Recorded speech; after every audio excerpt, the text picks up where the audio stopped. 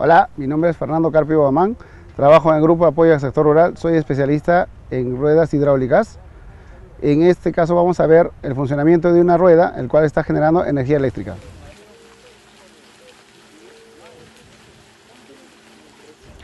Estamos viendo una rueda que está construida de metal, básicamente todo. Tiene unos rayos de soporte, el cual mantiene el diámetro constante. En este caso está hecho de planchas de metal de 2 milímetros de espesor. Y esta rueda está hecha de metal porque queremos de alguna manera que se mantenga la durabilidad. Estos tangilones que podemos apreciar, que en total son 36 en esta rueda, sirven para llenar el agua, el cual va a generar la energía.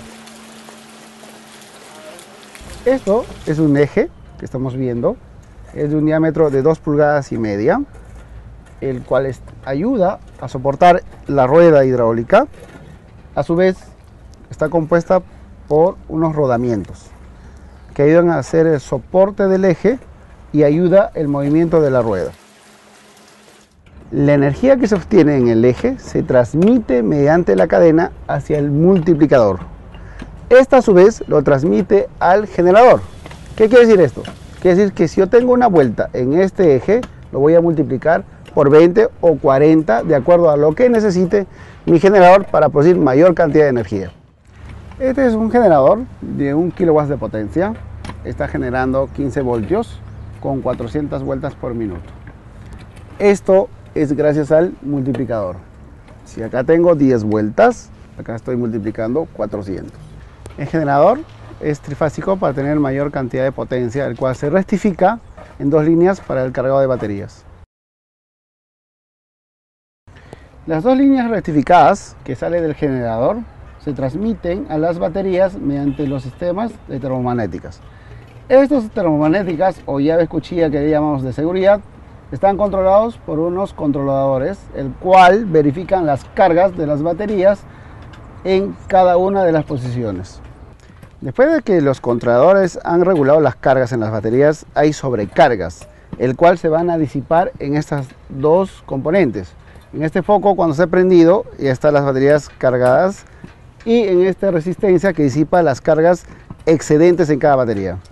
Estas son unas baterías especiales que tienen un tiempo de vida de 7 años. Estas baterías van a almacenar la energía que, que se genera con las ruedas hidráulicas para el uso de dos focos 3 horas diarias.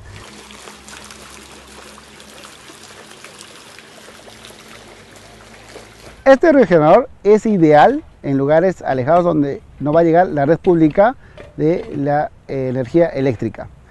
Este regenerador abastece a 40 familias mediante las baterías, como también puede abastecer energía para centros de salud y centros educativos, utilizando únicamente fuentes hídricas como canales de agua o riachuelos.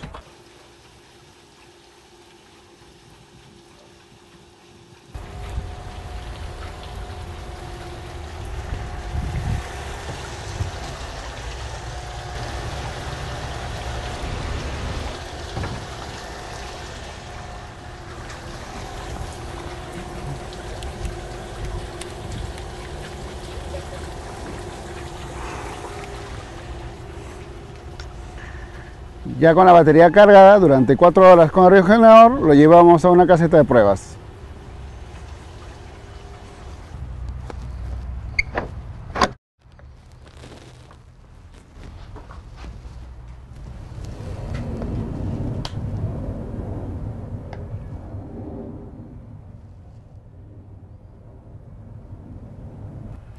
Esta es la batería de 12 voltios que hemos cargado en el río generador está siendo conectado a un sistema de controlador.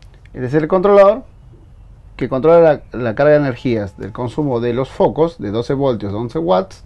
En esta oportunidad tenemos dos focos, pero si ponemos un solo foco podemos tener también a la vez un toma corriente que puede ser utilizado para una radio o una televisión o también para hacer el cargado de celulares durante 4 horas diarias durante la semana.